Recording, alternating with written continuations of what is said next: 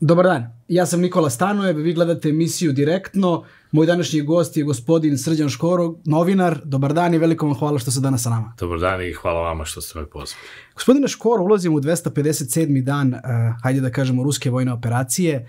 Kako vama izgleda trenutno stanje i da li ulazimo u neki veliki sukob ili će se sve završiti između i Rusije i Ukrajine u ovom momentu? Pa to sve deluje do, dosta mračno. Znači, ja imam jedan poseban stav da je u pitanju jedan narod i jedan deo naroda odrođen i ako, ajde, kažemo, najblaže rečeno, e, veoma bliski e, e, ljudi, krvno, genetski, kako hoćete, ratuju jedni protiv drugih. To je ono što je strašno i to ima oblike praktično građanskog rata. Amerikanci su konačno pronašli nekoga ko će da gine za njih u ratu protiv Rusije i pronašli su Ukrajince. Oni dobijaju ogromna sredstva, ogromne pare, a praktično se država rastače i zadužuje toliko da, da su oni deseti deo toga uložili u Ukrajinu, ništa od ovoga svega ne bi bilo u smislu nekog razvoja demokratije, stanja, ljudskih prava u toj zemlji i tako dalje. Tako da, očigledno postoji interes da se taj sukob što duže produži, taj interes ima i Rusija, jer i oni na, na tome zarađuju, Jedini, jedina je razlika što Rusiji ginu u svemu tome i što ljudi stradaju, porodice gube svoje najbliže i što će to jednoga dana kad se bude ispostavio taj neki bilans to debelo na ovaj ili onaj način koštati uh, Rusiju. E sad, uh, s čim se krenulo i kako se krenulo i gde je tu zapelo i šta će tu na kraju uh, biti. Znači, ne, nema sumnje da je Rusija da je htela i da je imala i sredstava i mogućnosti i one operativne da to o, privede kraju na, na, na mnogo a, brži način i efikasniji način. Očigledno to nije bio cilj i očigledno je to deo jedne taktike svega ovoga što će se u buduće verovatno u, u raznim krizama koje ćemo mi doživljavati, a sve će se tumačiti kao kao ovaj rat u Ukrajini, da su razlozi rata u Ukrajini, to je ta neka globalna glad. Jer, kažem, sve to preterano, niti Rusija, niti Ukrajina hrane toliko Evrope i sveta da bi sada bila tolika kriza. Znači, sve veštački izazvano i to se prvo vežbalo na, na koroni, a sad je Ukrajina a, glavni razlog za sve neuspehe, za sve nedaće, za, za zimu koji dolazi, za ne, nestašicu grejanja i naravno Zapad gura u tu priču da su to mrski Rusi koji kvare a, sve to što kvare, a ovaj, s druge strane Rusi govore da je to jedna globalizacija, da je to jedan nameč. Sad ne znam kako će se sve to dalje razvijati s obzirom da stvari u Americi se ne razvijaju na način unutrašnje kako, kako oni očekuju. Evo imamo najavu Trumpa da će se ponovo kandidovati. Imamo ja ozbiljnu krizu tamo u, u toj zemlji uprkos ogromnim, enormnim zaradama na, na oružju, na, na nafti, na, na gasu i na svim tim trgovinama. Amerika ima jedan ozbiljan unutrašnji problem i očigledno da mnogi ljudi to ne podržavaju. Prvo ima jednog predsednika koji ne zna za sebe, ima jednu strukturu koja ne kontroliše to do, do kraja i e, samo već pojava e, Trumpa i ono što se očekuje da će se dogoditi, izvinjam se, ovaj, u, u, u Senatu i ovo, i ako republikanci osvoje te sve većine koje se očekuje, onda je pitanje kako će se dalje uh, sve odvijeti, u kom će to sve pracu ići. U svakom slučaju, uh, na primeru Ukrajine, na primeru tog, tog i takvog rata, u čemu naravno učešće svoje daje i Rusija, uh, se lomi mnogo toga, ali ne onoliko koliko se priča, niti, niti je to stvarni razlog a, onoga a, zašto građani Evrope, sveta, čega god hoćete, a, loše žive.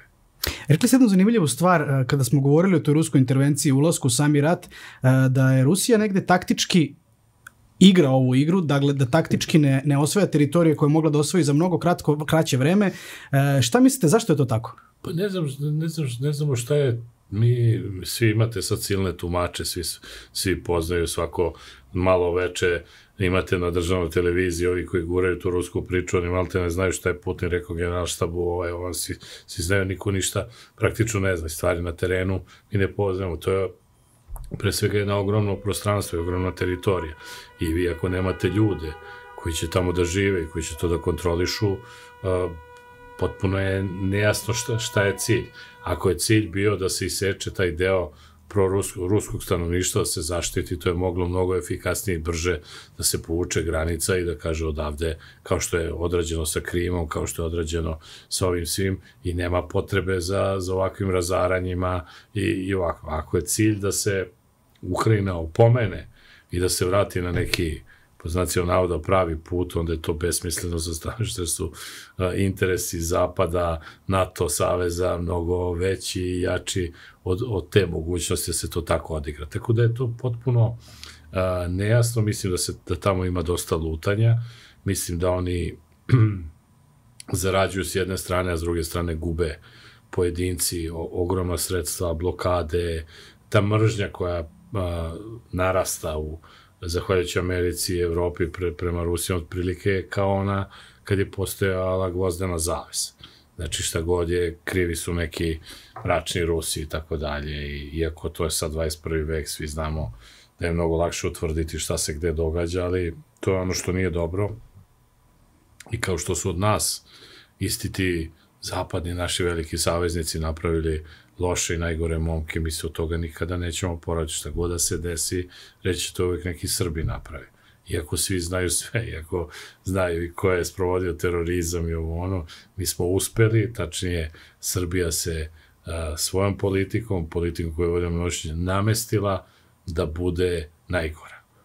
A nije. E, to je, to je ono strašno. Sad to više niko ne, neće da utvrđuje. Sada vi e, imate e, da svuda u svetu Amerikanci ili veći deo tog evropskog sveta je u sukobu sa muslimanskim fanaticima i e, tako je sa Izraelom, tako je sa svima, oni guraju tu priču, osim na, na ovim prostorima gde su oni u saglasju da treba da rade sve što mogu protiv Srba, recimo. I tako saglasje se pravi mm -hmm. u, u, u ovom sad sistemu i protiv Rusa, odnosno Rusiji. To je ono što nije dobro i svi sad očekuju da će Kina nešto kao da bude neka prevaga i ne, neće, Kinezi imaju neku svoju potpuno a, ideologiju, filozofiju na, na osnovu koje žive stotinama godina. Znate, vi kad pričate sa njim, oni kažu, svaki vam kines kaže, sad je onako, loše, nije, nije baš najbolje. Za 150 godina će biti mnogo bolje. I on radi, šta će biti za 150 godina. Imaju tu vrstu i ako ne bude, neko će dodati, ne, nešto će se, ali mi, niko drugi nema. Tako da oni nemaju razloga ni da se svrstavaju ni ovamo, ni ovamo, oni imaju isto odlično im ide, Rusi im uh, dobijaju gas i sva, sve ove e, elemente koji su bitni za život po najpovoljnijim mogućim cenama i njima je super u tom smislu. Tako da, ta neka, kako ga kažem, mi smo, da sam odrastoj generacija, mi smo uvek gledali u tu Ameriku, u taj zapad kao izvor slobode. Znate, tamo postoji kip slobode, tamo postoje neka tradicija, tamo su formilovane države na potpuno nekim drugim načelima. I šta je sad problem? Što su u tim državama oni ponašaju kao najortodoksniji komunisti u, iz vremena Staljina. I oni tako se ponašaju prema svom narodu i tako sprovode odluke i tako donose odluke. Ništa od toga svega nema. I sada zato imate tu potpuno šizofrenu situaciju da vama naši nazovi, ovi što glume monarhisi i četnici sada brane Putina, a ovi levičari i neokomunisti Vašington a bežali su jedni od drugih. Znači, svi su ovi odlazili na zapad, bežeći od, od, od zla koje dolazi iz Moskve, a ovi komunisti su bežali naravno od svega što, što može da donese zapad. I sada imate to potpuno pomešano i sluđeno i to je ono što, što nije dobro, jer mislim da, da je Evropa potpuno tu, da će na kraju Evropa kao Evropa i pojedine zemlje Evrope pratiti najveći danak, naravno i ove male zemlje poput nas, a to je taj sudar kao što su i plaćale sve te zemlje iz, iza, s ove, s ove strane zavese, a to je sudar ranije Sovjetskog savjeza Amerike, sada Rusije i Amerike. Ima li Ukrajina vremena da se vrati na, ajde da kažemo, pravi put ili da, ta, ako je ovo opomena Rusa, da, da oni to prosto shvati ili je za to kasno? Ja mislim da je za to sada kasno, da je to sada nemoguće na, na, na pravi način. Vratite, vi ste agresor, vi ste napali moju zemlju, vi me ne date da imam struju vodu, vi me terate da se iselim iz svoje zemlje i tako dalje i, i to, to se jednostavno formira uh, tako, iako ljudi malo znaju da je izvorna Rusija nastala u Kijevu, nije nastala u Moskvi. I tu je neke analogije, sad šta se događalo, odakle to, jezik, crkva, način, ta mržnja, to su sad za, stvari za ozbiljnu analizu i način, ali očigledno je da su išli i našli te slabe tačke uh, na Ukrajinu. Ukrajina je bila deljena, podeljena, mislim, govorimo na taj prostor, još dok nije bila država, ali s druge strane, vi kad malo pročitate, znači, datum nastanka uh, Ukrajine i datum nastanka nezavisne države Hrvatske isti. Isti su sponzori, isti su kumovi, isti su sastavljači. To je ono što je, što je, što je strašno. I isti su išli da se bore protiv tih, samo su ih tada zvali crvone marici, armejci, ali i svih tih Rusa i tako dalje. Tako da, e, jako je to, s druge strane, Rusija ništa nije učinila na toj demokratizaciji svega, svi su bežali, setite se, znači Češka, Slovačka, boju, svi su čekali samo kako će da se oslobode toga. I sve su te zemlje i uključene u NATO i Evropsku uniju, jer je to njima bila odbrana od onoga da ne doživljavaju sve te strahote koje su doživljavali od Sovjeta, da će ući tenkovima, da će nekog maltretirati, da će ubijati, da će ovako, da To je pod, pod tim naletu, pogotovo po, posle drugog svetskog rata. Ali je Zapad potpuno a, drugačije funkcionisao. Sa spajanjem obe Nemačke, potpuno se to promenilo. A, Angela Merkel je očigledno shvatila tu igru i nije dozvoljavala da do, do ovoga svega dođe i pravila je neke svoje aranžmane jer je smatrala da je upravo veza Nemačke i Rusije ne, neka, nek, neki odličan balans prema Americi, prema svemu, naravno to je ispušteno, došli su potpuno neki trećerazredni političari, ljudi koji nemaju svest ni o čemu je to dovoljno da miniraju severni tok, znači uzlaganje vi svesno uništavate nešto u što ste dali svoje pare, svoja sredstva da bi svojim građanima bilo lakše, vi činite to. Znači, posle tog događaja sve priče o nekim evropskim vrednostima i stavovima gube, gube na značaju. Može li Rusija da izgubi ovaj rat? Pa na dugi rok, e, znate, što god bude duže trajalo, pitanje je šta ste vi dobili. Znači, ona u tom nekom, kako kažem, fizičkom smislu, ovo slušate sad Zelenski priča da će kao, zna, možemo da razgovaramo, da vratite ovo knimo, to, to se neće, to niko normala ne traži. Šta je specifičnost ovog rata? A, što niko ne, ne juri mir. I meni recimo smeta zašto Srbija nije osim ove rasprave besmislene uvođenje i neuvođenju sankcije, da ćemo mi proći gore ili do, zašto se mi ne nametnemo kao prijatelji oba ta naroda da u Beogradu da započnemo mirovnu misiju, da se to spreči, jer vi vidite da nikome nije interes da to stane. Nije interes Rusima, nije interes Amerikancima, a očigledno ni, ni onima koji predstavljaju Ukrajinu. Da li je njima interes da se njima ljudi iseljavaju, ako je to 5 miliona, 7 miliona, 10 miliona, to jednostavno nije normalno. Nije, nije, nije normalno. I na dugi rok, uh, jednostavno to će bude prazna zemlja.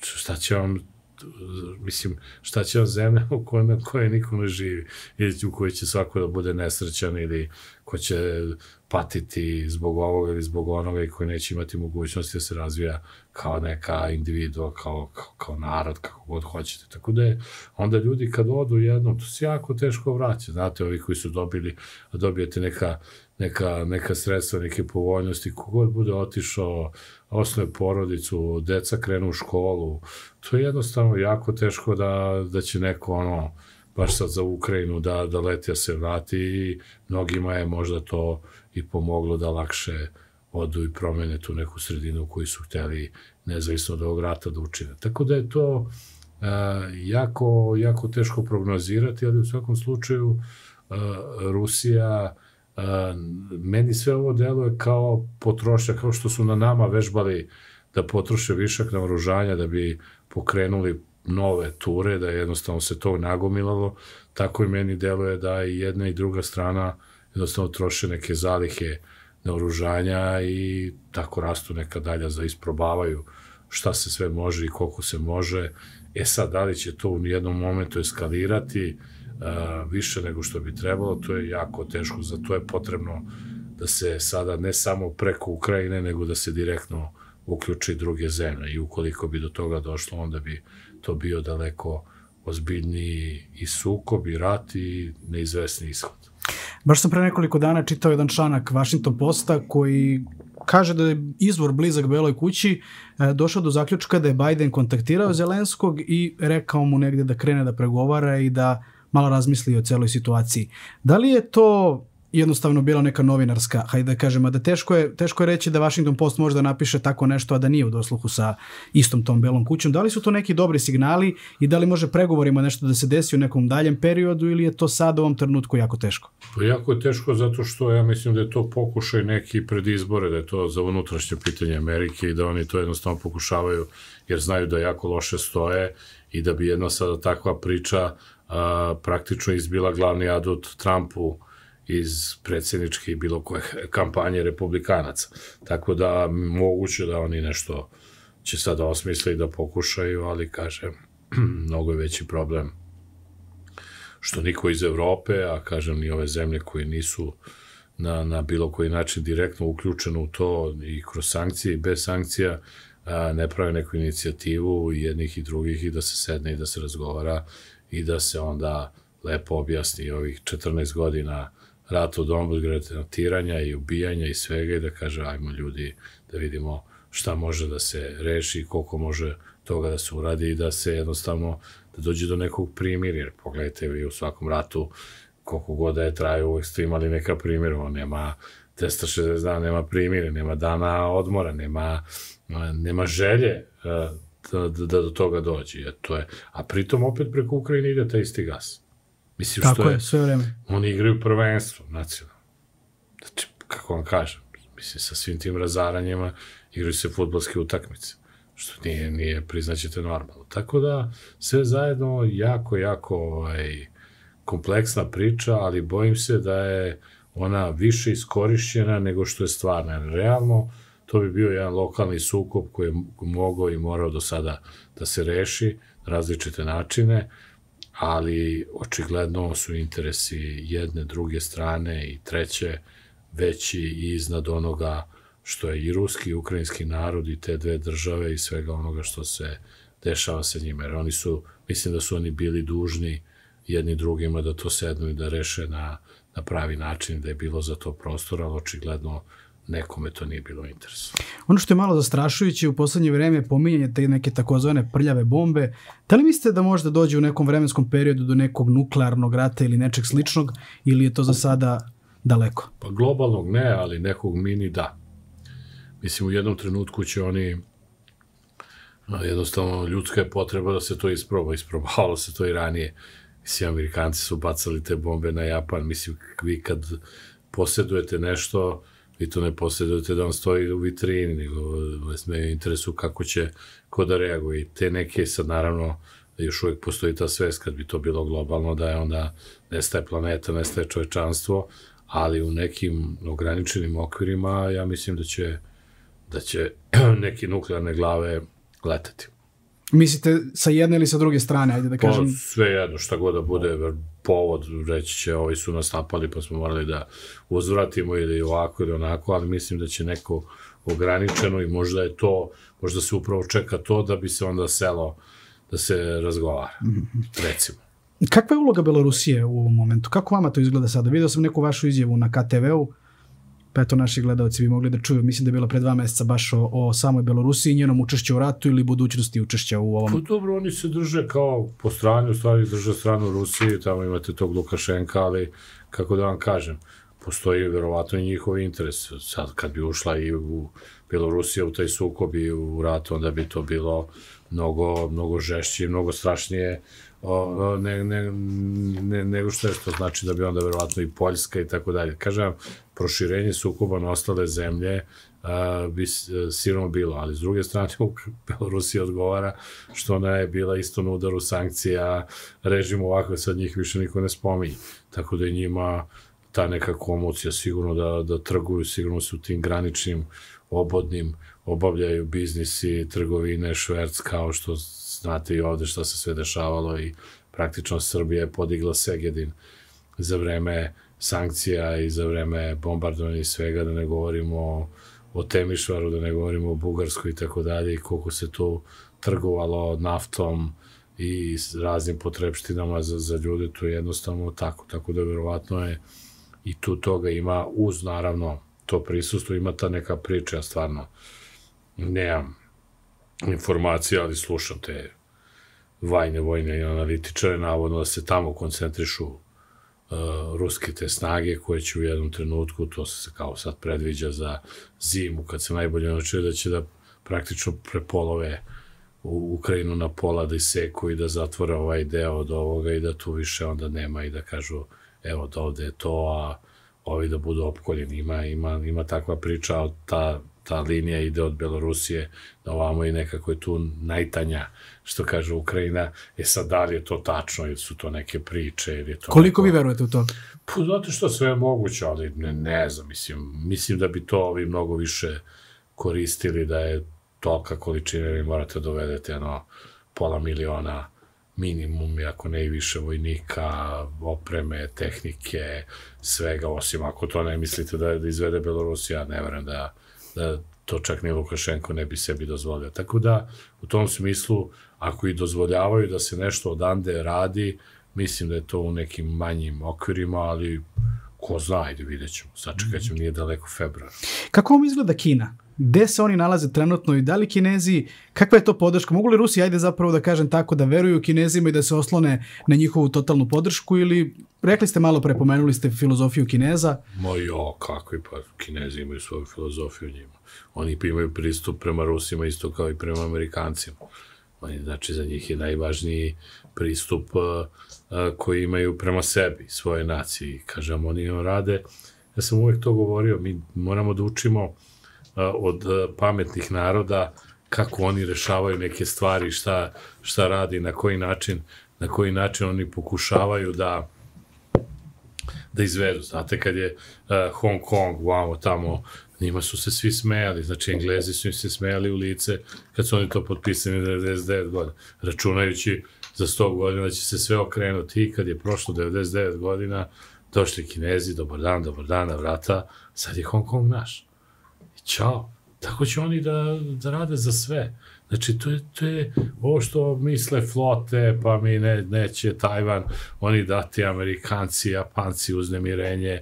Pa nema, vama će, oni će ekonomski do te mere da više neće imati potrebe niko da ide na Tajvan da radi ako će za veće pare da radi u Šangaju, recimo. I, neko. I što bi, što bi se ne znaju? Oni će to da reše me, među svojim narodom tako da će oni to da otmu na, na, na legalan način. Da niko više neće ni, ni buniti se protiv. Mislim, bunit će se Amerikanci i ovi svi, ali hoću vam kažem, to je ta filozofija, to je taj stav i to je, kažem, na, oni, oni računaju na hiljadu, dve godine.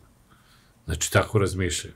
Tako da njima ovo trenutno, Rusija, Amerika, Ukrajina, to je za njih jedan dan, jedan minut u nečem životu, to oni uopšte ne razmišljaju tako, kao što ovo kod nas ovo rade, pogledajte kako rade ovo što su došli. To, to su planovi, da uzeli su bor, oni će, našli su, utvrdili to, oni će to da uzmu, oni su praktično uh, Kinu napravili u, u Srbiji.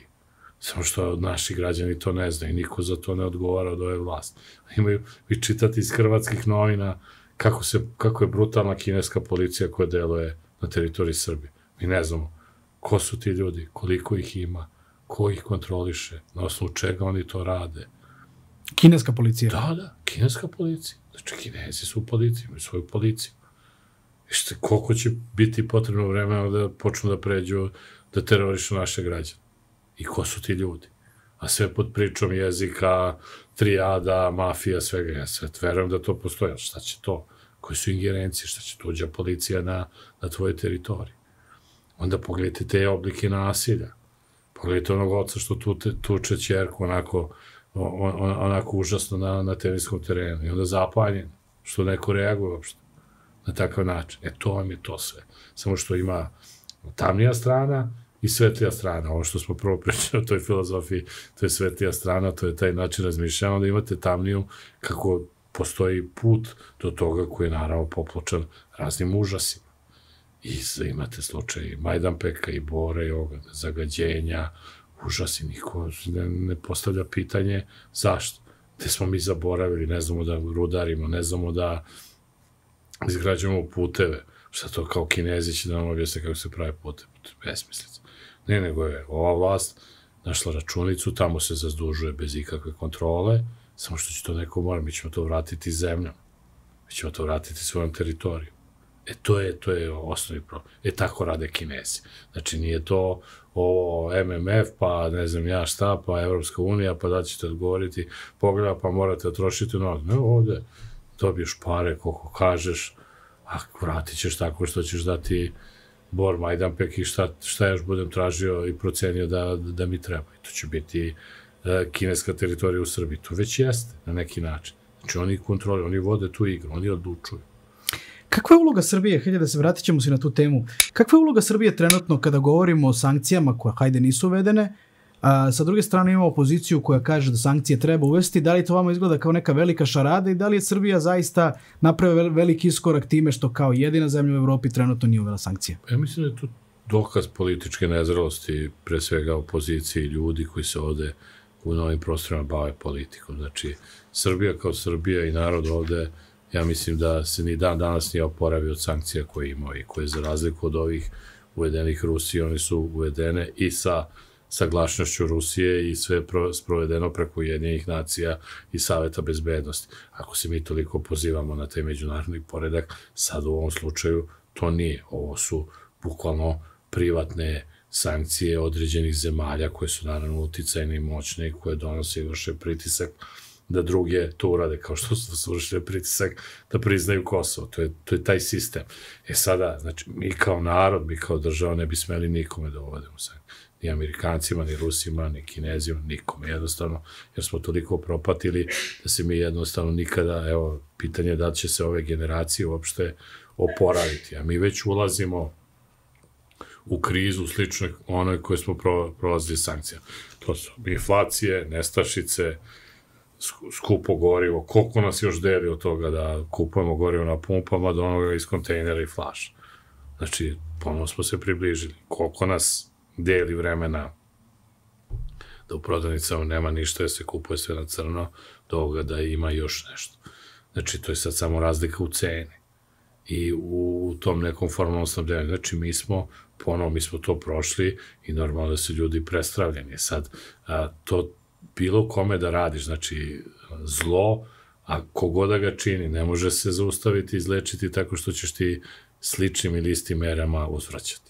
Ne, ti moraš upravo kontra nekim merama. Znači, ti si taj koji si to iskusio, koji si postradao, koji si uh, imao, trpiš i dan današ posledice i prva i osnovna mera, a to bi trebalo da bude osnova politika, da mi to kao narod ne radimo nikome i da jednostavno, što se toga tiče, to ne dolazi u obzir šta god bilo u pitanju i to se jednostavno prečisti. Kao što se prečisti priča oko Kosova, prečisti se oko ovoga i onda zašto, zašto o tome da pričamo? Zna se, to je šta je. Sad, strašno je što sada opozicija a, sadejstvuje zajedno sa vlašću i vrši veći pritisak na vlast nego što vrši Evropska unija, jer oni misle da će tako da se dodvore. dobiti dodvore i dobiti, mm -hmm. dobiti od, od, dovoljan broj poena koji im a, koji će im ovi uzeti u obzir prilikom neke eventualne promene vlasti. Tako oni razmišljaju, što je naravno absurd.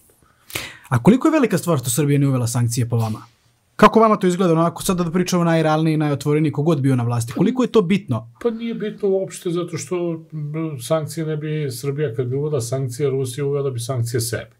Znači, posledice uvođenja sankcije po Srbiju bi bile 10, 10 ili 100 puta teže nego, nego po Rusiju. Znači, to je besmisleno, to je kao da vi sada a, zabranjujete a, nekome ko posjeduje sve, a, vi sad kao, e, ja ti neću dati svoj kvadrat, ne možeš da ti opkoljen oko svega ili, ili oko gasa. I drugo, ta besmislena teza kao otići će ti strani investitor, pa neće otići dok god država im dajete ogromne pare, dobiju 100.000 evra po radnom mestu, neće niko da ode, jer to ne mogu da dobiju nigde drugde jer oni ne bi bili tu, to nema veze. Onda ovde imaju jeftinu radnu snagu koja se ne buni ni oko čega, da li radila u pelenama i radila za 200-300 evra, a pritom ima jeftine energente koje mi dobijamo zahvaljujući tim vezama sa Rusijom. Znači, svaki disbalans toga bi bio katastrofa za, za te investitori, oni bi se zbog toga povukli, a ne zbog ovo, a da ne pričamo o, o priči oko Kosova i Metohije.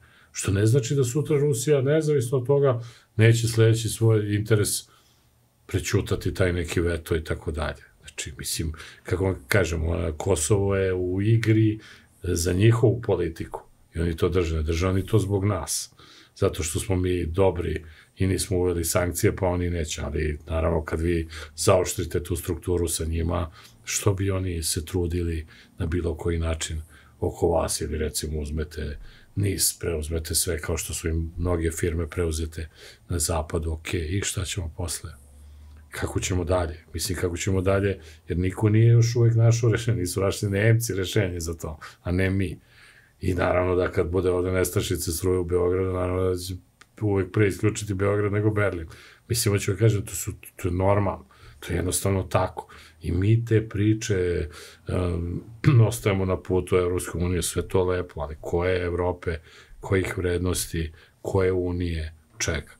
Jer biti deo nekoga ko sam sebi uništava sebi to koji uništava svoje stanovništvo, mi to već imamo, mi ne treba da idemo, mi imamo već takvu vlast i već godinama se ponašanje prema sobstvenom narodu, neodgovorno, bahato, užasno. I ne treba nama Evropska unija da bi se to produžilo. Nama Evropska unija treba zbog nečega što oni imaju neke postulate i neke zakone koji su se dojuče pridržavali. Tamo vlada neka, neki red prema kome bi trebalo da ide neko čovečanstvo i da teže. Ali sad to, to više nije tačno.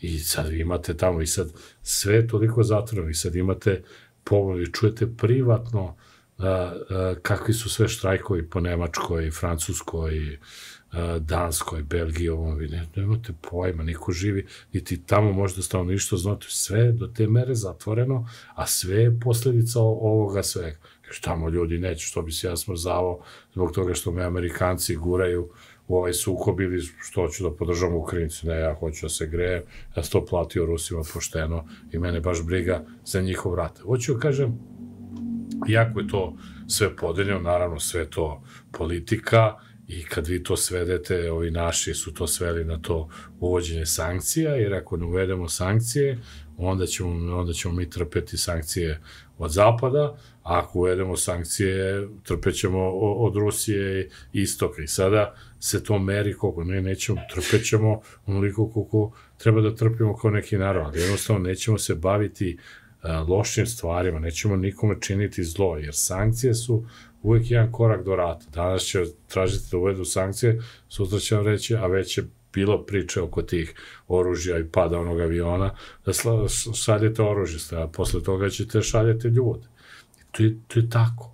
To je jednostavno... Koliko je to proverena informacija da je Srbija stala oružje Puh, Ukrajini. Koliko je to koliko možemo da budemo sigurni da je ta informacija potpuno tačna? Hajde da da tako formulišem ja pitanje. Iznenađen, ljudi koji se time bave, to su radili u bivšoj Jugoslaviji i skraćenoj Jugoslaviji, oni su se time bavili. Znači, Jugoslavija je živela ta kao Titova na, na tome, prodavala Iranu i Iraku oružje kad je bio rat. Znači, to je jednostavno takva je, takva je bila mogućnost, a preko Jugoslavije su svi slali, jer je onda tako bilo lakše, Amerikanci neće direktno, pa onda ovaj uzme, ovi ne govore sa Rusima, mi uzmemo žito od Amerikanaca, pa tutnemo tamo za pet puta veći. Zoni, tako, tako mi je nasto sav Genex.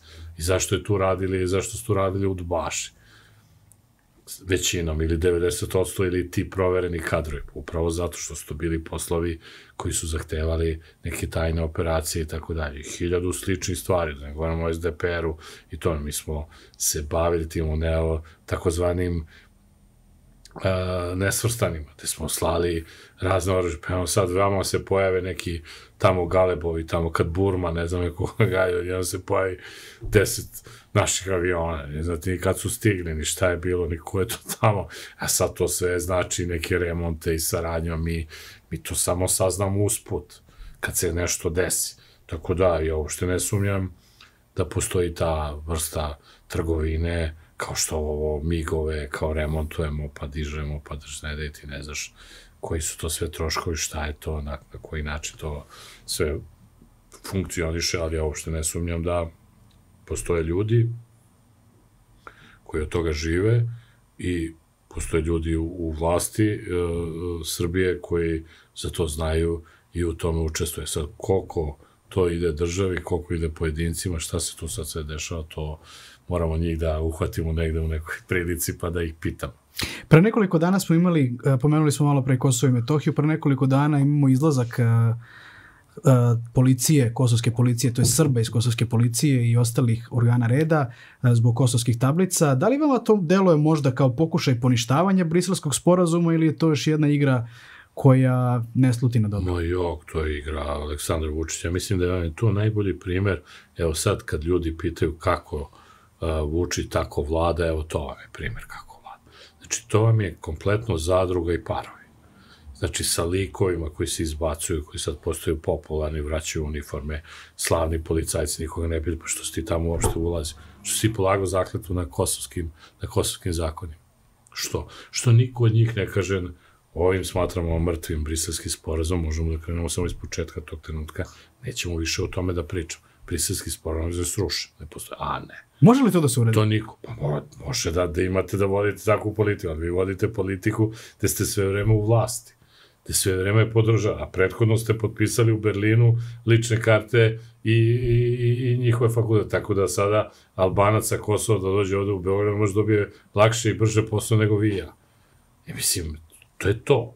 A da ne govorimo o drugim nekim stvarima. I to niko, naravno, ne spominje, nego vi vidite sad ljudi, znate, vidite, ko se vozi autobusom, imate mitinge, to po autobusu, sad tu svi Vučiću skuplja, pa neka im je, ovaj neka je vratio svi, kako su oni uniforme te vratili, svaka im čast, izlaze to, ovo, ona, sve to, u stvari, jedna ozbiljna predstava, nažalost, koji će postradati, niko ne pita šta je s ovim Srbima južno od koji su na sve pristali, su otpisani bili od ovih servera, ne otpisani od Srbije. Šta će ljudi? Kuće da Oni odavno voze na te, na te druge tablice i sva dokumenta su promenili. Svi su promenili dokumenta. Jer ne mogu da funkcionišu ljudi drugačiji. Ali to niko ne spominje. I sad ćete vi da imate tu bu, ono, pa ćemo da ovi da ih mire, pa će to malo kriza, pa eno, javlja se Haradinaj, pa će ovoga da ruše, pa ćemo da vidimo da će Amerikanci da dovedu nekog svog, ili će ili ovaj, Nemci nekog svog, i to je, je ta predstava u kojoj, naravno, Nadre, a suština je da se svi seljavaju iz Kosova, i Albanci i Srbije, tamo ne, ne može da se žive, to nije regularno, to ne može da bude država nikada, niti će biti, ti možeš da priznaš šta god hoćeš, da kažeš, ko Kinezi sad dođu u Majdanpek, ovo je naš, može da bude vaš, a to ne može da bude kineska država.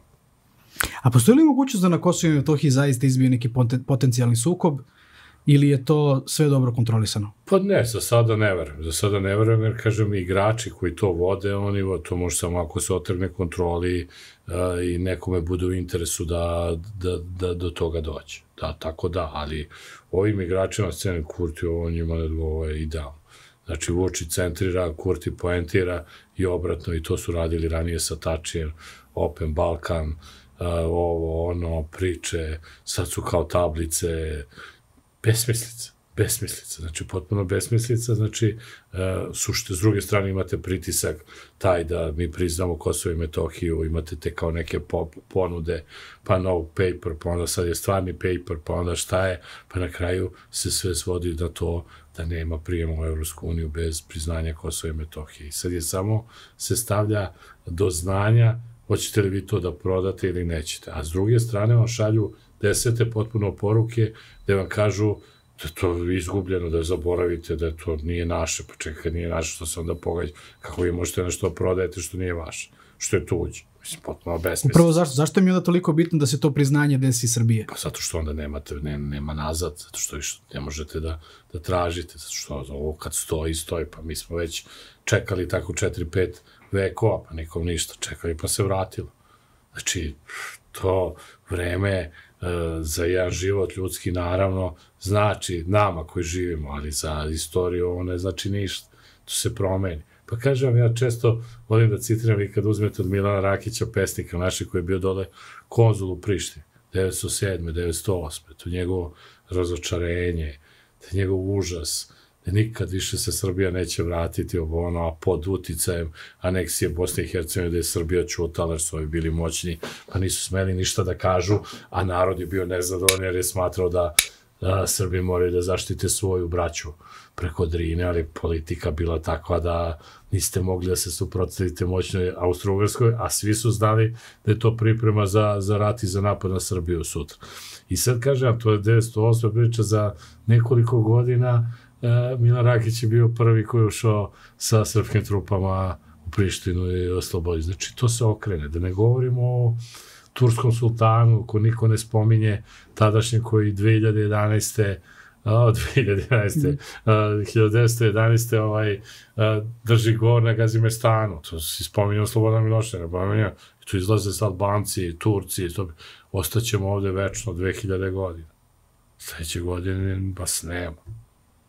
A kažem, to se odigra. E sad, šta je razlika? Razlika su u vremenima, razlika je što je Srbija onda bila nabrekla, sa četvoro, petoro dece, bila slobodna što se tiče tih seljaka i trgovine i svega, a, imala kakvu takvu vlast koja je školovala oficire svuda, koja je a, tu naciju dizala i držala u nekom a, jedinstvu i u svesti šta treba i kako treba i onda posle toga nije bio problem da se to, da se iskorači. Tako da, hoću da kažem, to su besmislice s tom pričom, ne treba nigde zatezati, priznali ste, ko što su ovi priznali, sutra će kažu mi ne priznajemo, ali onog trenutka kad vi priznate, zvanično tog trenutka je cela priča završena.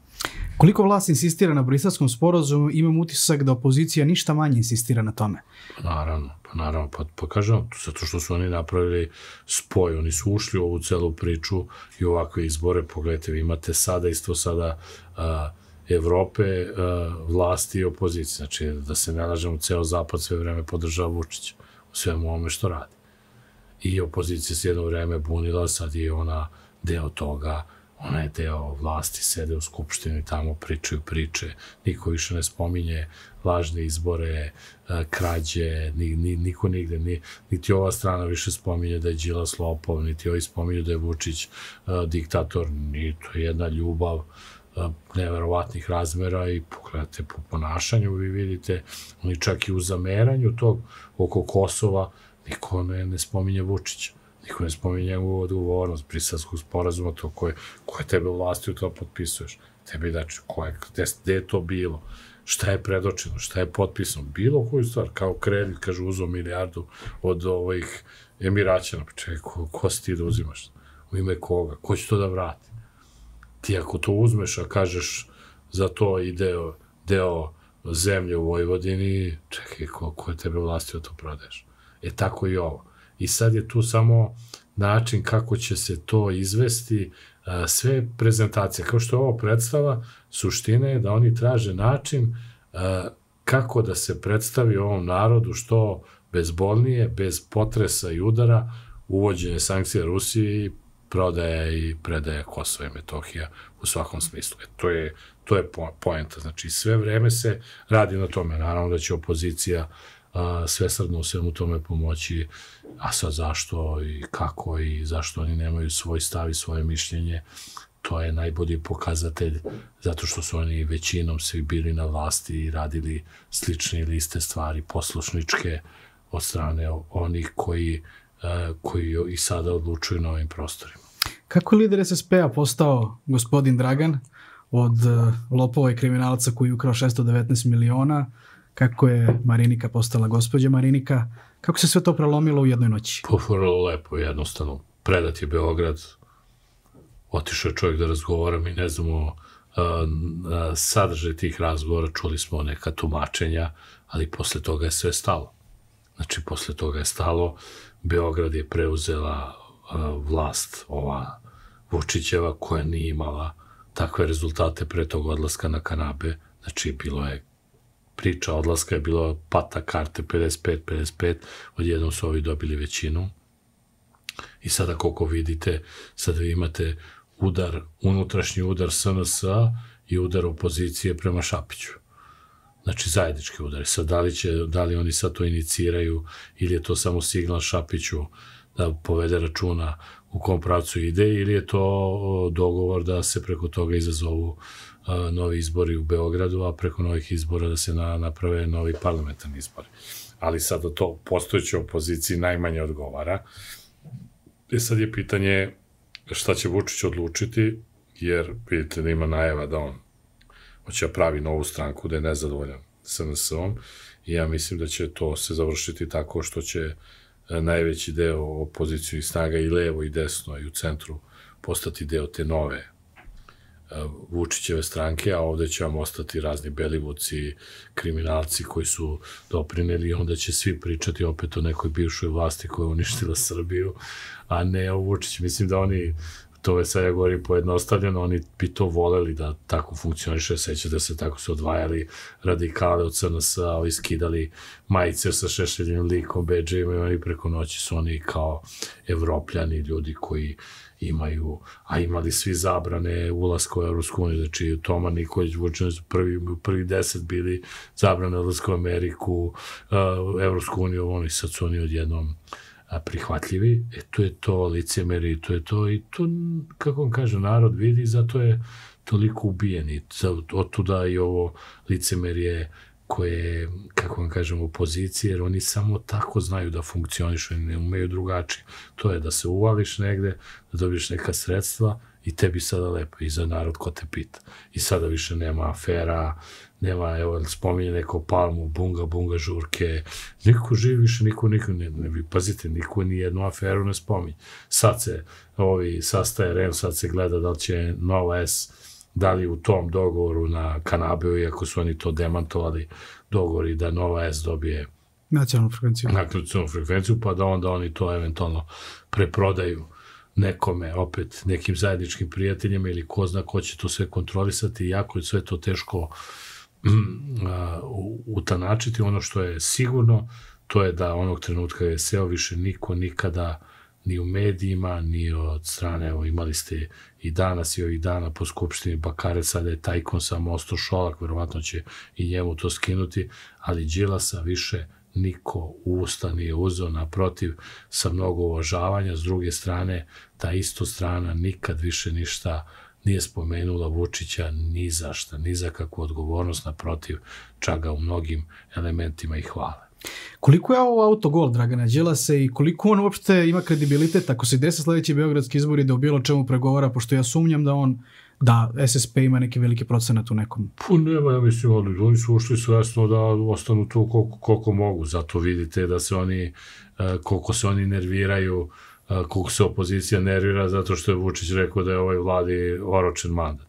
Znači, ne nervira se Ana Brnabić, nego su oni nervirani, a bilo bi potpuno prirodno da oni kažu super, aplauz, da što kraće bude Ana, mi ćemo imati priliku da se pokažemo i da, da formiramo mi vladu, da pobedimo na tim izborima. Međutim, njima to ne odgovara, njima odgovara da sede, da uzimaju pare od države koje im pripadaju na osnovu izbornih rezultata i ništa više. I tako razvijaju dalje svoje male ili velike biznise, čuvaju svoja bogatstva i glume opoziciju i nekakve protivnike nečega ili glume još što je još strašnije nekakve žrtve, a samo pogledajte imaju vozače, imaju garderobe, kako žive, I narod im ne veruje i oni znaju da svaki izbori da će da svakim izborima biti sve gore po njih. To je njima jasno. Nego oni bez obzira gledaju kako da izvaraju, ako mogu još koji put narod. Tako da u tom smislu ja mislim da da je ova cela priča uh, i cela struktura koja je napravljena i matematika kod Đilasa da su oni, moja procena je, završili političku priču. Da li će oni kroz neke reciklaže o Vučićeve, ove Evropske unije, opstajati ili trajati u ovom ili onom smislu, verovato će učiniti sve da to tako bude, ali što se tiče nekih uh, ozbiljnih mogućnosti da dođe do nekog preokreta, to sigurno ne, jer gde god oni budu bili, tamo narod neće sigurno za to glasati. U jedno pitanje gledalca, ja sam ovaj, dobio jedno pitanje gledalca kada sam rekao da ćete vi biti gost. Da li ikada, kada znamo da ste progonjeni, znamo da ste dobili otkaz, malo pre smo razgovarali da, da ste sada pre neki dan ili danas bili na birovu, da li ikad iko od opozicijonih birača, od op opozicijonih, hoću da kažem, stranaka, primetio ili vas pitao da li vam treba posao, da li je, da li ikad postojala šansa da se napravi neki dogovor E, jer ipak ste vi čovek koji bi te kako mogao da bude koristan opoziciji. Kako ne, pa kažem vam bilo, ali niko vam nikad ništa konkretno nije nudio u smislu posla. Znači ja sam mogao, bila je mogućnost da ja budem na njihovoj zajedničkoj listi relativno visoko kotiran jer bi morao da, da vučem da bi uh, bio narodni poslanik. Ali kako vam kažem, ja nisam uh, kroz sve ovo prošao i ovo sve što sam izdržao da bi ja naplatio sobstvene muke. Mislim, to je potpuno pogrešan pristup. Ja sam hteo i sa njima da se napravi. Kad su bili protesti, znate, ja sam bio jedan od, od, od ljudi koji je ne samo vodio, nego učestvovao direktno u tim protestima i ljudi su to prihvatali mene, a s njima niko nije sedao, teo kafu i onda da, da popije. Oni su, ljudi su bežali. Znači, ja sam spadam od redke ljude koji je uspeo da pokušamo da pomirimo opoziciju sa narodom. Da. I to je, a, suština je bila, ne možete bez ljudi, vi morate negde da, mora neka struktura, mora neko da dođe, mora neko vodi opštinu, neko mora, znači to je Milan, ne zato što sam ja imao njima, ne znam ja kako visoko mišljenje, nego ne, to jednostavno ne može ništa bez ljudi i ne može ništa bez para. I u tom smislu sam ja guro tu priču.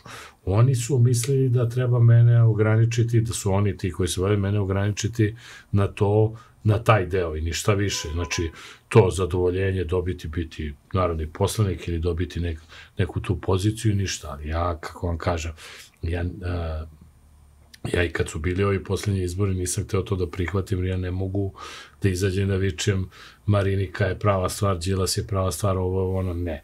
Ja, moja ponuda ljudi koji su bili okupljeni oko mene je da se ti prokazani, znači Đilas, Jeremić, Luza, svi da, da budu potpuno u desetom planu. Ne da se sklone, da budu u desetom planu, da potpuno bace drugi ljudi, da ne može lista u Srbiji nikoga da pobedi koja se zove Marinika Tepić. Da to svako zna, kogod se kretao, ja se krećem dosta među ljudima po terenu. To je jasno, nema nikakve, možete, to je ko ono, ja sam njima objašnjavao, ko na futbalu, znate, kad smo mi bili mali i sad igra kraj protiv kraja, da bi pobedio vaš kraj, igraju najbolji. Niko ne postavlja pitanja. Zna se, znači mi se podelimo pa znamo ko najbolji igra i ko može da donese. Niko nije ljud, nema tu sujete, jer šta ćeš ti ako, ovaj, ako znaš da ovaj bolje igra od tebe i da može nešto da doprinese, a bitno ti je da tvoj kraj pobedi. E tako i ovo. Znači, znalo se tačno ko koliko može da povuče, ko može šta da donese i oni su uprkos tome napravili celu kombinaciju sa a, generalom, sa ovima, sa onima, znači sve kontra od onoga, znači oni su uradili sve da ne dobiju izbore. I to je očigledno bio cilj, a pogotovo u Beogradu gde je tu za to imalo ozbiljnog prostora ali oni jednostavno nisu hteli da učine taj korak i to se pokazalo sve ovo njihovo ponašanje. E, ja sam to video i sada recimo da sam ja na toj listi šta bi ja sad predstavio, morali bi, morali bi da se izdvojite, onda bi vam ovi govorili, ali vi ste na njihovoj listi došli, vi kao samostalni poslanik dobijete jednom nedeljnu reč ili dva minuta i šta, mislim šta je cilj, ja, ja bi rešio svoje neka pitanja, ali u nekom konkretnom smislu šta, je za mene mnogo strašnije što kolege, ne znam koga ne znam koji su bili, znači niko u smislu tog nekog N1, nove, danasa, bilo ko, niko nije mi konkretno ponudio posao i kaže evo ti imaćeš toliko i toliko platu, piši, ne znam šta, ajde da vidimo šta bi ti mogo da radiš, stavljaj one kvačice na vesti, nije, nije bitno, znači imam dovoljno iskustva da sam mogao i sigurno bi imali oni uh, više koristi nego ja od njih, ali niko nije, nije ponudio, jer sam ja doživljavan i kao neka politička figura i kao neka potencijalna opasnost i način na koji ja pričam, reagujem, govorim, to očigledno uh, mnogima ne odgovara i oni više volje da se uljuljkavaju u, svo, u svim tim svojim varijantama koje imaju, jer im to kvari, kvari im igricu. I ja sam u jednom momentu im pokvario i kad sam se i kandidovao, oni su poludeli jer je to njima bio, onda su sve učinili da ja nikako ne dođem do, do toga, do, do birača, da izađem na te izbore i naravno moglo im se jer sam ja dosta bio uh, ono, kažem, sam na vetrometini i vlasti i, i većeg dela opozicije. Tako da, ovaj, ali, evo, sada ne moramo ništa pričamo, samo pratite kako to funkcioniše. Znači, ja sam bio upravo protiv toga, a, imao sam ozbiljne sumnje, a sad imam velika saznanja u kom pravcu su oni to radili, šta su radili i mislim da i građani ne treba biti mnogo pametan i previše obavešten, samo pratiš šta se dešava i kako se oni ponašaju. U tom smislu to je naravno veliko razočarenje, ali nisu oni dužni, uh, kažem, profesija je tu dosta zakazala, znači kažem, profesija, ali naša, moja profesija je u autu, ona je totalno degradirana i ono kako sam ja učio i radio i sprovodio novinarstvo, to više nema blage veze na, na sceni ja mislim da uh, ti ljudi više nikome nisu potrebni, jer ono što bi morali da nudimo ovom narodu je informacija, a mi više nemamo informaciju ni o čemu i niko se ne bavi time, nego imamo polu neke informacije, polu istine i svako gura neku svoju priču, tako formirate goste, tako pravite, pa evo, kažem primjer, gde ne bi postojali nijedan YouTube kanal, niti bi bio gledan da svako radi svoj posao koji bi trebalo od RTS-a do N1. Znači, zašto, zašto oni nisu popunili taj prostor? Zašto bilo ko, znači ovi ne valjaju, to je u redu, a zašto vi ne pokažete kako valja? Ajde, dajte neki primer. Ne i privucite ljude na osnovu toga. Ne, to se nije dogodilo. Znači, ni u tiražima, ni u gledanosti. Zašto? Zato što jednostavno uh, sklop ljudi mentalni koji to rade nije taj da bi to radili. A očigledno gazde ili ljudi koji to finansiraju, njima nije ni stalo da se to razvija i njima je sasvim dovoljno ovako. E tako vam je i opozicija isto, znači ovi su loši, a uzmite nas zato što smo dobri, a vi ste možda još gore ali narod to sve vidi i definiše i onda se mi čudimo zašto je apatija ovolika, zašto ljudi neće da se bore, neće da glasaju, neće da izlaze na izbore, zato što mi imamo na sceni 30 godina iste, iste ljude, slične ljude, slične pojave, slične priče, podmetine svi. Pogledajte, vi ste dozvolili sebi da vama Ana Brnabić tamo održi predavanje, žena koja ne može sastavi tri prosto prošle rečenice zato što je ovi dostavljaju za svako ko se javi tamo putera i svega hoće po glavi koga god hoćeš, a samo takvi ulaze. I oni nemaju, onda protiv može da nastavi šta god hoćete. I onda naravno, onda ispada da ona još ispadne pametna, odnosno dosta, kažem ovo, kažem ono, o čemu vi pričate. I to je, to je a, strašno, Međutim, vi vidite da to nikome ne smeta. Oni su srećni što su tamo u Skupštini. Tako izgleda, da. Tako, srećni. Peva kuća Dimi Divnjak. Da, lepo, njima dobijaju plate, stranke dobijaju pare, je fino, oni nešto kao kažu, pa su nešto važni sami sebi, pa im neko ih citira, pa održe neku konferenciju. Pogledajte kako su se oni otimali za te odbore, kao to nama pripada, pa kakvi odbor, sad ti sediš sa Sandrom Božić u odborima ili sa ovim Bakarecima, neću sedim Neću sedim s jednim ljudima uopšte takvim. Neću da imam nikakav dodir s njima. A ne da budem deo nekog odbora gde oni imaju većinu i preglasavajte. I nikom ništa.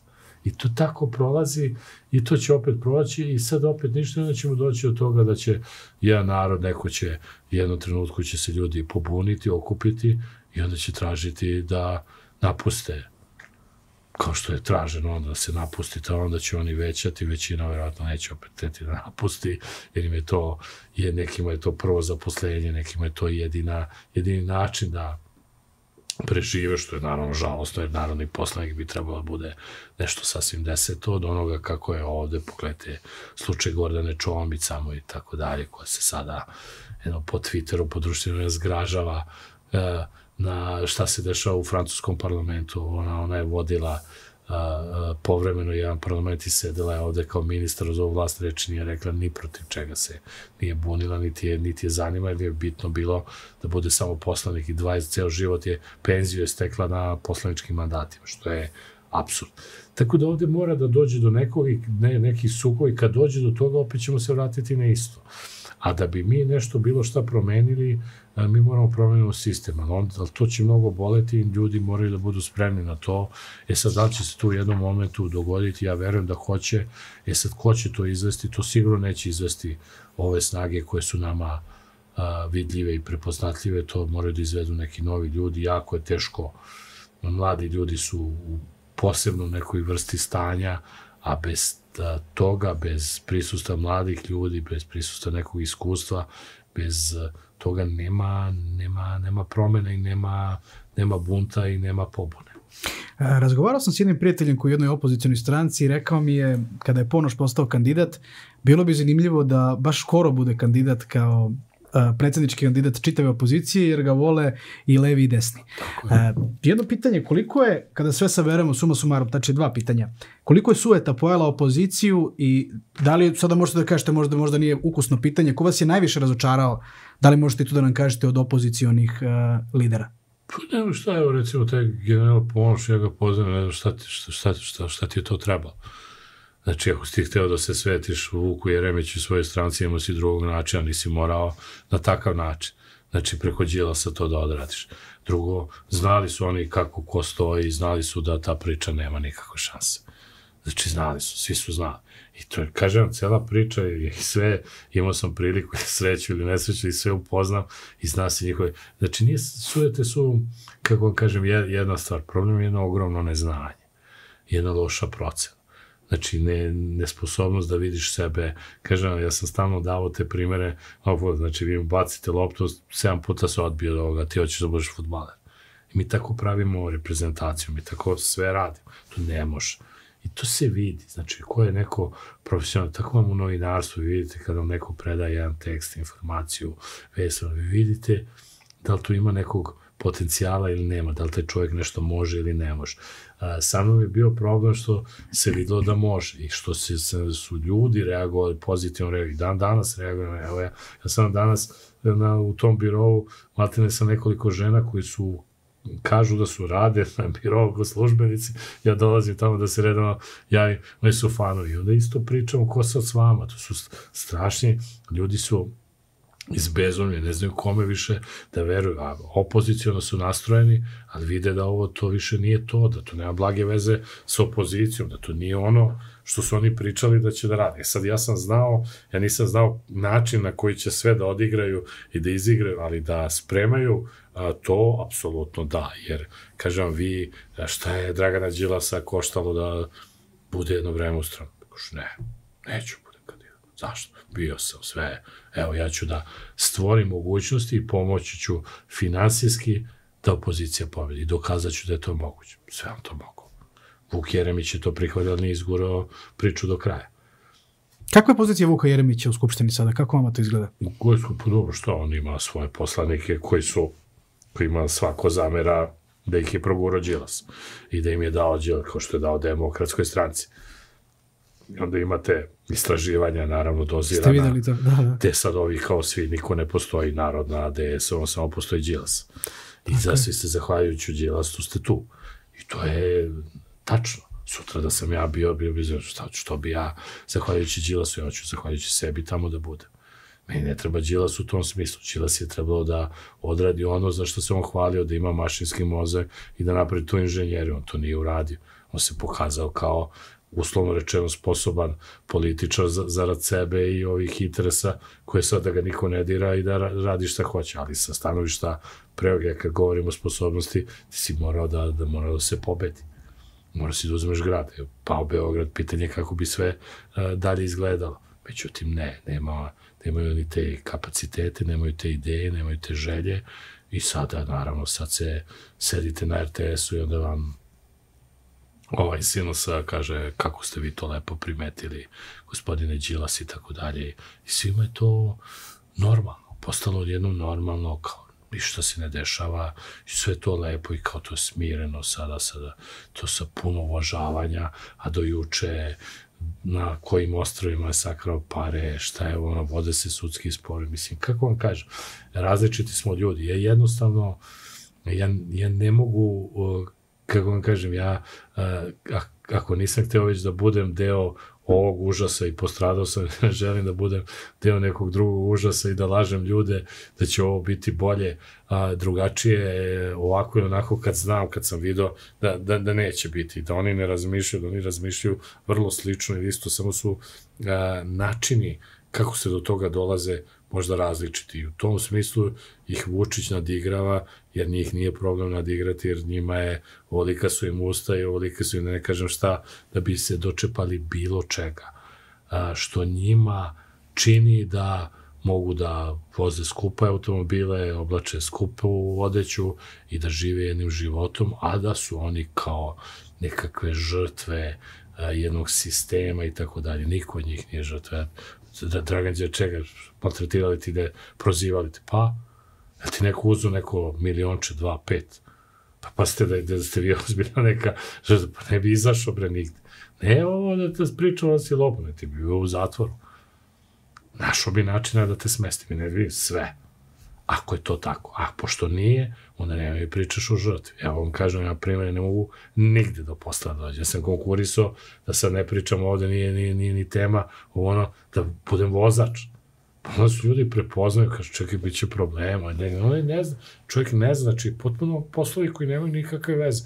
Jer on ne zna da će njemu sutra neko doći na, na firmu, kaže, čekaj, bre, šta će ovo? Ne znam, naravno ne bi došao niko, možda i bi, ja ne znam. Ali hoću vam kažem, vi ste stvorili, ja sam stvor, napravio takvu priču da ne odgovorim. Sada ta opozicija koja se uslovno rečeno klela, uh, vodi u temi umirenje, sada njima ne odgovara, naravno, jer ja znam šta je iznutra. I oni vas isto zatvaraju sa svoje strane, jer njima to isto nije potrebno. I onda u čemu se oni razlikuju? Nije u čemu. I meni u tom smislu su meni oni mnogo, kad kažete kome razočujem, meni su mnogo gori ti koji su kao na, na moje strani, na našoj nego ovi, za ove znam i oni se ne foliraju. Znači, o, o tome, o to, u tome mm -hmm. jeste problem. Meni je jasno šta je Vučićević, šta je Željko Mitrović, šta su ovi. To, oni ni ne kriju. A da vidimo gde ste, gde ste vi na ovoj strani. Šta ste vi? Ko ste vi? Koja je razlika na kraju dana? Tako je, tako je. Tako da, žalostno, tužno, ali, kako vam kažem, ja sam uvijek e, živao neki uh, život jednog običnog čoveka, iz naroda, čovjek koji je završio neke svoje škole, sve na vreme, radio neki svoj posao, trudio se najbolje što mogu da ga obavljam i to sam činio. I ove stvari kad sam ušao, sticam okolnosti, htio sam da se nešto promeni, da jednostavno ono od ljudi, znate, ja sam recimo završio istoriju, pa kad sam bio profesor nekad u škola, ja sam primjenjivo nešto, sve što je meni smetilo kao đaku Znači, prezirao sam štrebere, prezirao sam ovi što viču učiteljice, nastavnice, ja znam što su prijavljivali ovo. Ja sam to tako postavio u razredu kad sam imao priliku. Pa sam prezirao neke druge stvari koje su radili se iz tih zbornica. Znači, potpuno sam sve što je bilo do mene kao profesor, ja sam pokušao da primenim. Naravno, ni, ni, nisam podsticao uh, decu da beže sa časova onako što smo mi bežali, ali sam pokazivao određeno razumevanje kad je za to bilo razloga. Tako da u tom smislu uh, jednostavno neka se ukaže prilika, znači kad ono kažete e, jednog dana ako ja budem u prilici, ja ću to raditi, ja sam to sprovodio. Ali to većini tad je bilo remećenja, deca su me naravno obožavala, ali u samoj zbornici nije bilo mm -hmm. to prihvaćeno, jer vi odmah napravite zid. Ne, zašto naprave? Zid mora da postoji, zna se ko je profesor koji je, ali ne mora da bude taj zid veštački napravljen tako da, da mi smo neka, neka vrsta neprene. Mi smo tu e, zbog jednog istog posla. E tako je i ovo sve. Tako da je razoč, e, nije to samo razočarenje, ja sam potpuno, ja ne vidim e, kako će se ovo mirnim putem e, rešiti, jer mi sad imamo daleko veći problem, osim vlasti mi imamo i ovakvu opoziciju. Znači vi sad jednim udarcem bi morali da se rešite jednog i drugog. A to može jedino tom promenom sistema. Postoji li treći put? Da li verujete da postoji treći da, put? Da, postoji, ali on isključuje ova, ova dva, dva puta i to je oni, oni neće to dati. A oni su moćni, kod njih su pare, sredstva, pozicije, mediji, šta god hoćete, oni to ne, neće da dozvole. Pa kažem, vi se sami imate iskustva. Zašto YouTube kanali? Zato što je to atipično. Zato što ovde može o nečemu da se priča, da se drugo čuti. Zašto neki portali? Zašto? Ali onda vas odigraju tako da vas nameste da vas nema. I to je, to je, to je suština njihova. I oni, i ovo sad što mi pričamo, to sad zamislite da se ovo odvija recimo na RTS-u, koliko bi to bilo značajno i koliko bi ljudi možda koji su negde poljuljene promenilo mišljenje o ovom milionu ili koje bi uh, nateralo nekoga da, da razmišlja drugačije. Tako da uh, sve to zajedno je jako kompleksno, jako teško, ali mi smo u jednoj nezavidnoj situaciji kao narod i kao država, znači mi smo raspadnuti, raspad, institucije ne postoje, nekompetentnost je a, nešto što ne krasi samo ovaj režim, nego krasi i ove prethodne. Znači, pogledajte, Vučić vam je došao na vlast na dve teme. Hapsit ćemo žute lopove, što su ljudi prihvatili kao iskreno i ne damo Kosovo. Znači, državu ćemo sačuvati. Nije. Čuti lopovi su svi prešli kod njega. I to i na eksponenira, a ovi drugi su blago na njegovoj strani ovako ili onako. Znači ništa nije učinjeno i imate ovo što se dešava gde je rastočio ono malo državnosti Srbije vezano za Kosovo i Metohije i privodi kraju tu i takvu operaciju. I, ti, I vi sada, niko to ne postavlja više kao, kao pitanje. Kako je to moguće? Ko su ti ljudi? Kako je moguće da vi sedite da, da vama najgori svet u SNS učine ljudi bivše iz SDS-a? Mislim, DSS-a, prvo su bili DS, pa DSS, pa onda razni uh, Čedini ili G17, znači vama su ljudi iz te i takve opozicije uh, najgadniji likovi uh, ovog režima. I on ih je samo usisao.